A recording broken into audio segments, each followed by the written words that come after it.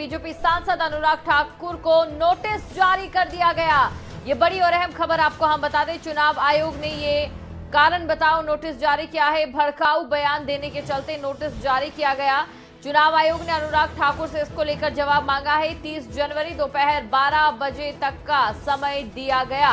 ये बड़ी और अहम खबर आपको हम बता दें, चुनाव आयोग ने अनुराग ठाकुर से इसको लेकर जवाब मांगा है और जो समय दिया गया है वो 30 जनवरी दोपहर 12 बजे तक का समय दिया गया है।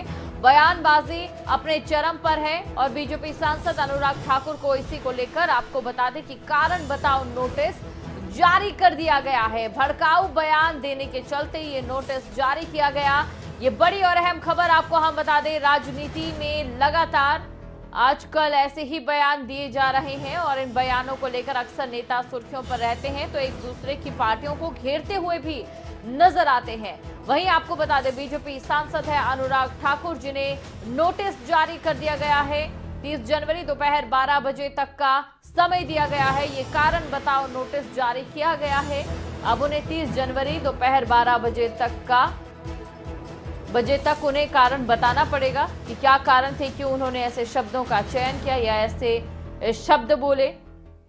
ये बड़ी और अहम खबर आपको हम बता रहे हैं।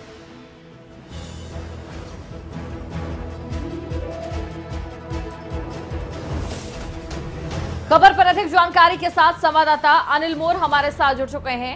अनिल मोर, सबसे पहले तो दर्शकों को ये बताएँ कि क्या उन्होंने भड़काऊ भाषण दिया था, जिसको लेकर उन्हें नोटिस जारी किया गया है और उसके अलावा कहीं ना कहीं राजनीति की जो मौजूदा राजनीति है, उसकी सच्चाई भी ये चीज़ें दिखा रही है कि कैसे जो बयानबाजी अपने चरम पर पहुँची है। देखिए, दिल्ली चुनाव में जो चुनाव प्रचार है अपने चरम पर है, वहीं जो बयानबाजी है वो भी अपने चरम पर है। दिल्ली में चुनावी सभा के दौरान केंद्र में मंत्री अनुराग ठाकुर की तरफ़ से एक नारा दिया गया था। अनुराग ठाकुर की तरफ़ से कहा गया था, जब वो मंच पर अपनी स्पीच दे रहे हैं अनुराग ठाकुर ने कहा था देश के गद्दारों को वहीं पब्लिक की तरफ़ से, भीड़ की तरफ़ से आवाज़ आई थी, गोली मारो। इस तरह की कोई बात पब्लिक की तरफ़ से आई थी, वहीं अनुराग ठाकुर ने यही लाइन बोली थी। इसी को लेकर इलेक्शन कमीशन की तरफ़ से एक नोटिस नोटिस अनुराग ठाकुर को भेजा गया और नोटिस के ज़रिए इलेक्शन कमीशन ने अनुराग ठाकुर से 30 जनवरी तक जवाब मांगा है। 30 जनवरी को 12 बजे तक अनुराग ठाकुर को अपना जवाब देना होगा, क्योंकि जो बयान आया है, इस बयान के बाद से कहने की राजनीति तेज हो गई है।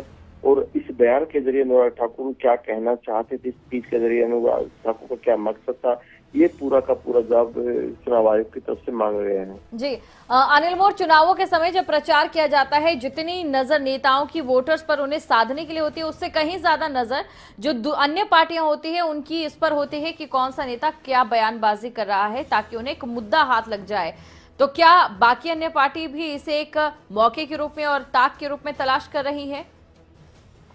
बिल्कुल देखिए, दिल्ली चुनाव में अब बिल्कुल बयानबाजी अपने चरम पर हो चुकी है। अनुराग ठाकुर की तरफ़ से जो स्पीच की गई थी, जिसमें गद्दारों को गोली की ये बात कही गई थी, उसके बाद से राजनीति बिल्कुल चरम पर है। वहीं अगर बात करें, फ़िलहाल अगर दिल्ली चुनाव की बात करें, दिल्ली चुनाव में एक तरफ़ जहाँ शिक्षा स्वास्थ्य है समेत ऐसे मुद्दे हैं वहीं दूसरे मुद्दे भी चुनाव में दिखाई दे रहे चाहे शाहीन बाग का मुद्दा हो राष्ट्रवाद का मुद्दा हो पाकिस्तान का मुद्दा हो ऐसे मुद्दे भी कहीं ना कहीं नेताओं की स्पीच के ज़रिए देखे जा सकते हैं। शाहीन बाग के मुद्दे ने भी काफ़ी ज़ोर पकड़ा हुआ है। तो ऐसे में इतना तय है कि आने वाले दिनों में जो ये बयानबाजी और तेज होने वाली है। शुक्रिया अनिल मोर इस तमाम जानकारी के लिए और क्या कारण वो देते हैं और क्योंकि भीड़ की तरफ़ से ये अ, कहा गया था उन्होंने कहा था कि देश के गद्दारों को और आगे भीड़ से आवाज़ आई थी। देखना होगा कि क्या कुछ अब इस मामले पर आगे रहता है।